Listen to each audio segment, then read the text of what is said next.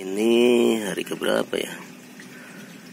Ya minggu pertama setelah kita pindahkan bawang merah dari uh, instalasi hidroponik ke polybag. Ini mulai keluar tunas daunnya. Ya ada satu dua. Nah, kita akan melihat perbandingan yang kita tanam di polybag dengan yang di instalasi hidroponik mana yang akan menghasilkan lebih banyak bakalan bibitnya ya. Uh, yang lain ini udah mulai adaptasi tinggal pindah ke instalasi nih. Udah hari ketiga kayaknya bisa adaptasi dipindah. Ini bekas migrasi dari pot yang big system ke dalam gelas aqua untuk kita simpan di instalasi hidroponik. Oke, yang lainnya ini belum kita tanam. Ini hasil stek batang kemarin lumayan. Eh, beberapa bisa bertahan, satu dua ada beberapa yang mati layu. Ya, itulah seleksi alamnya ya yang lainnya kayaknya juga bagus. Ini juga hasil kita pindahkan dari uh, itu dari week system ke polybag.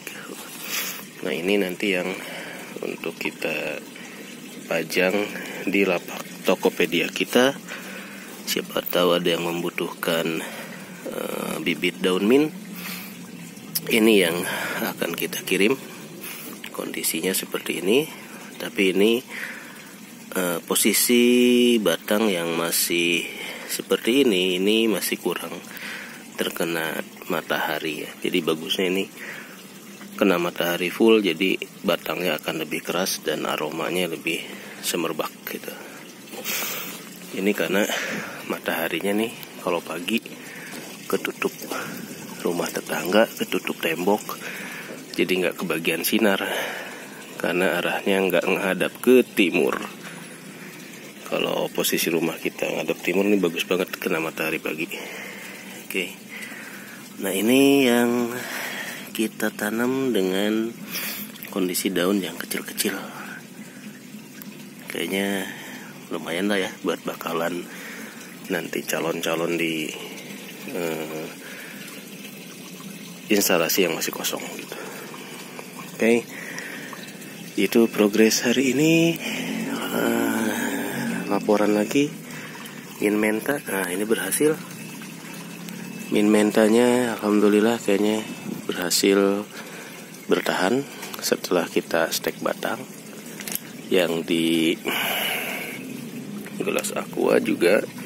Ini peppermint kadang disebut min mentol min menta. Baunya ini bau daun mentol. Ya. Nah kadang ini suka ya namanya gantian gitu ya. Ini ada yang bilang peppermint yang ini peppermint. Pas awal-awal saya juga agak bingung membedakannya tetapi kalau yang ini saya lebih menyebutnya sebagai spearmint yang ini coklat mint ini peppermint atau mint menta karena dari sisi aroma yang bau mentol kayak permen peppermint nah baunya yang ini.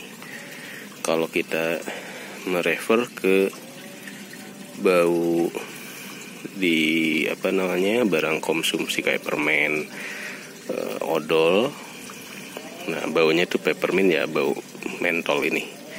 Tapi kalau misalkan odolnya rasa min doang min doang nah ini spearmint baunya.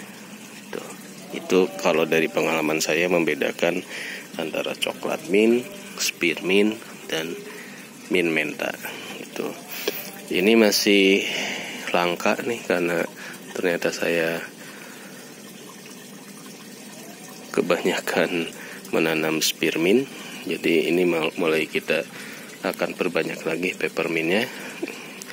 Kalau ini biasanya saya konsumsi untuk campuran susu jahe merah ya yang biasa di pinggir jalan banyak jualan Nah kalau misalkan agak batuk-batuk, radang tenggorokan pakai daun ini, ini bagus enak.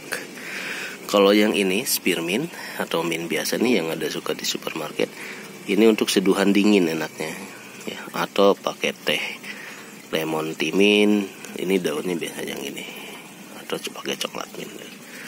Oke, itu kira-kira perbedaan dari ketiga jenis mint ini. Silahkan uji coba mana yang eh, lebih cocok menjadi racikan untuk seduhan.